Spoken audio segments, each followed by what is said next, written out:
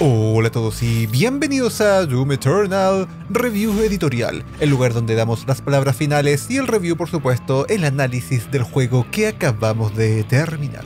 Muy bien, ¿qué es lo que podemos decir de Doom Eternal? Partamos por lo obvio, es un FPS, un First Person Shooter. Ustedes lo conocen, estos tipos de, de, juegos donde estamos con el arma y apuntamos para todos lados. Un FPS de tomo y lomo, en el cual nos ponemos la armadura del Doom Slayer, y como secuela directa del Doom del año 2016, regresamos a la Tierra solo para darnos cuenta de que está siendo invadida por legiones infernales que arrasan con todo a su alrededor, y por supuesto, dependerá de nosotros detenerlos. La historia podría comenzar y acabar allí, pero para mi sorpresa abarca mucho más que esto, ya que hay un trasfondo de una moribunda civilización avanzada que hace lo necesario para salvar a su gente, similar a lo que estamos haciendo nosotros como Doom Slayer. Más no voy a decir para no hacer tanto spoiler.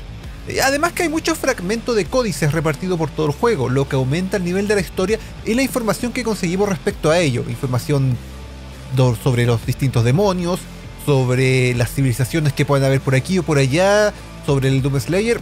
Mucha historia, más de lo que uno podría llegar a pensar que es Doom, hey Doom, llegar y disparar. No, tiene mucho más de ello. Así que Doom Eternal, en fin, en definitiva, va mucho más allá que un simple dispar y mata todo lo que se mueva para salvar a la Tierra solo porque sí.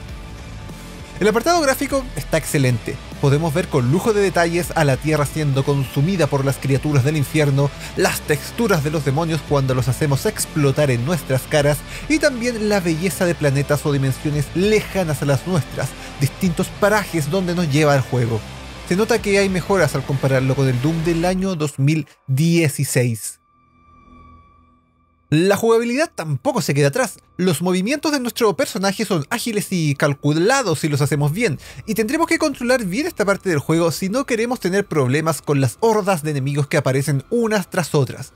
Los mismos desarrolladores, leí en algún lado, han dicho que los combates son un baile de movilidad, Incluso llaman este estilo de combate Doom Dance, lo cual es bastante certero, porque no puedes quedarte en un solo lugar y disparar a todo lo que se mueva, ¿no? Tienes que disparar, moverte, disparar, moverte. En fin, ustedes vieron el gameplay, si no lo han visto pueden verlo ahí, en el canal está. Explica muy bien, queda a la perfección el nombre, el Doom Dance. También tendremos que ser cuidadosos con nuestra munición si no queremos pasar problemas. En un principio yo me quejaba de que este juego tenía muy poca munición. Yo decía, hey, miren, ya me quedé sin munición en la mitad de la batalla, ¿qué hago? Pero después entendí que la manera que el juego quiere que consigamos munición es eliminando a nuestros enemigos con la motosierra. Por supuesto, esto nos lo dicen al principio. Al principio del juego sale el tutorial, hey, si quieres conseguir munición, usa la motosierra con cualquier enemigo y al eliminarlo obtendrás munición. ¿Sí? ¿Cierto? Está ahí. Sin embargo, yo debí cambiar mi mentalidad y dejar de ver la motosierra como un arma y comenzar a verla como la herramienta para conseguir munición. Porque al verla como arma, y al ser un insta-kill, cualquier enemigo que matemos con la motosierra es inmediatamente limitado, típico que yo lo veía, mm, voy a utilizar la motosierra con los enemigos más complicados, los más feroces. Y no, cambié mi mentalidad, dije, no, esto no es un arma, es la herramienta para conseguir munición. Esto, ¿qué pasa? Nos lleva también a comentar de que las batallas no son llegar y disparar, hay toques de estrategias lo, ejemplifico con la misma motosierra, lo que acabo de decir. Atacar con este, un enemigo con esta arma es un insta-kill. Dependiendo del enemigo consumirá más o menos gasolina. Y es como les dije, al avanzar en el juego me di cuenta que es un desperdicio utilizarla con enemigos grandes. Lo mejor es dejarla para los pequeños para recuperar munición cuando se es necesario. ¿Vieron? Y así nos encontramos también diversos tópicos estratégicos durante las distintas batallas aquí en Doom Eternal. También tendremos las distintas runas que nos darán diversas mejoras, pero solo podemos equipar tres al mismo tiempo, así que hay que elegir sabiamente cuáles queremos utilizar. Además de diversos medallones que están repartidos durante todo el juego para mejorar nuestra armadura a nuestro gusto según más se acomode nuestro estilo de juego. ¿Vieron? Hay personalización en distintos lados. Además, no está de más agregar las distintas personalizaciones que tienen las armas. Cada una tiene dos distintas con diversas mejoras cada uno. O sea, hay mucha personalización en el juego. Y por supuesto, hay que utilizarla según más se, acomode, más se acomoden a nuestro estilo de juego. Y bueno, no podemos dejar de hablar de las armas ya que estamos en ello, y como de suponer tendremos un arsenal completo a nuestra disposición y para todos los gustos, desde la clásica escopeta hasta el increíble rifle BFG, ustedes saben, el que lanza una bola verde y elimina a casi todos los enemigos del sector. Incluyendo por supuesto ahora también la espada maestra de Doom Eternal, o una espada demoníaca, que matará casi todos los enemigos. Creo recordar que uno me decepcionó que no lo maté, que no lo mató con un solo sabletón. Es que esa es la palabra correcta. Pero bueno, mata casi todos los enemigos de un solo espadazo. Pero que tendremos que utilizar sabiamente, ya que es una espada con munición, podremos llamarle, limitada.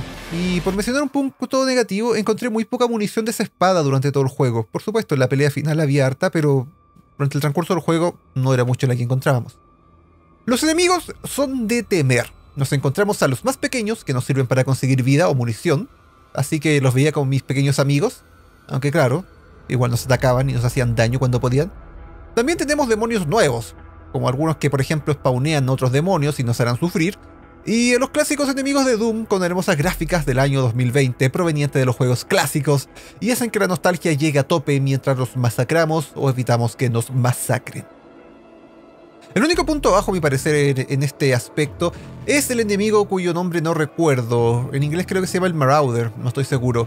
Pero no van a reconocer inmediatamente cuando se los describa. Es el tipo que saca un escudo y un perro. No era complicado matarlo, pero sí es extremadamente tedioso y muchas veces aburrido. Porque detiene de un golpe todo el dinamismo de la batalla, ya que por lo general nos enfrentamos solo a él. Es ir para de un lado hacia otro, esquivar sus golpes, dispararle cuando se digne a bajar el escudo sin ningún enemigo más, salvo los pequeños que nos dan la munición y la vida.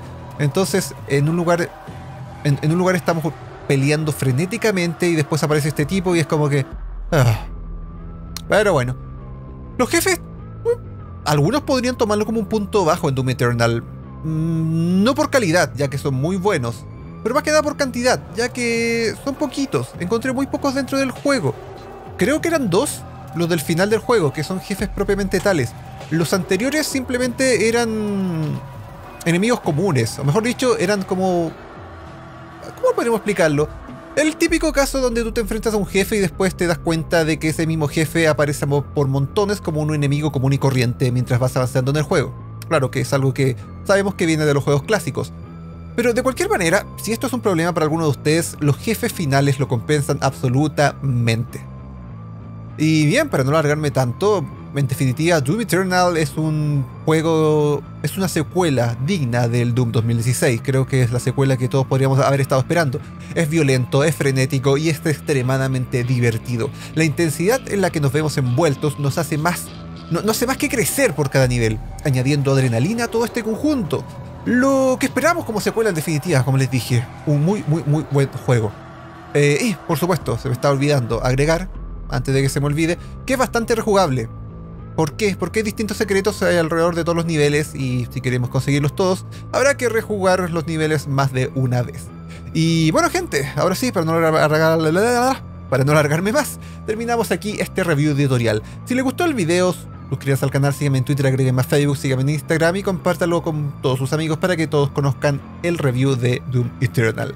Completa, absoluta y totalmente recomendado por mi parte tanto si eres fan de Doom o si no has seguido mucho la serie Doom pero te gustan los FPS. ¿Para qué decir, por ejemplo, si te gustan los clásicos, no solo como Doom, sino como los Quake, Quake 2, Quake 3? Porque la intensidad del movimiento y la batalla se hace algo similar a ello. Así que bueno gente, muchas gracias por ver otro juego completo aquí en John Cyber Juega. Que estén bien, nos vemos. Chao, chao.